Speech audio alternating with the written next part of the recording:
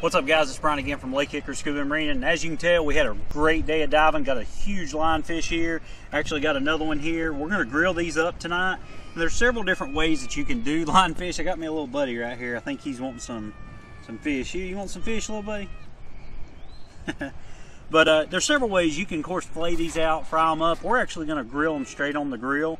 Um, but what I wanted to show you here, if you ever deal with lionfish, if you look at their spines, this part right here, that's what you got to be careful of, is that spine right there. A lot of people think that the fish itself is poisonous or has a lot of venom, and it's not the fish, but it's the actual spines of the fish. And the, the sac, the venom sac is actually just right here at the tip. So you can actually touch the spines and nothing happens. But if you come out here to the tip and touch, what happens is that venom will get injected into you. And actually you can see a little bit dripping out of that one right there. So there's a little bit of that venom there.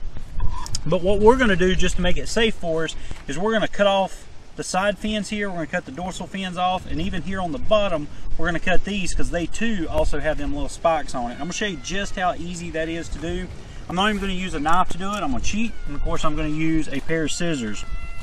And ideally you can either work all the way up from the front or all the way here in the back. I'm just gonna start in the front and start cutting down.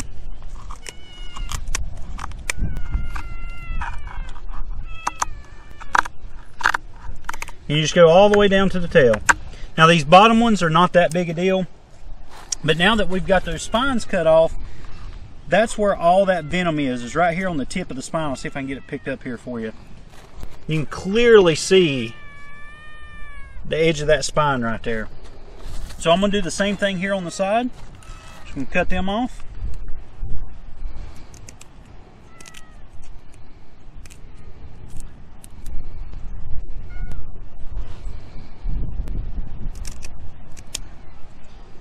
And of course, we'll just get rid of them over the side here. And it makes it a lot safer when if you are trying to flay it out or you're going to cook your fish or whatnot, go ahead and get rid of those spines right there. And you shouldn't have any problems because like I said, the fish itself is not venomous. It's just the spines and the ends and on the top of the fish. Of course, it helps if you got a sharp pair of scissors. Get rid of that there. And of course I'm gonna cut these bottoms off as well.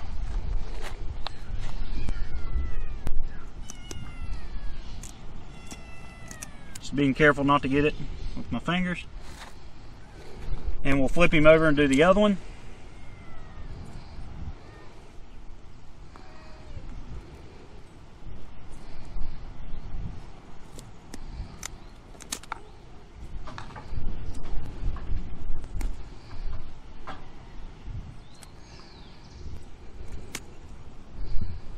And that fish right there, completely devenomized, if you will.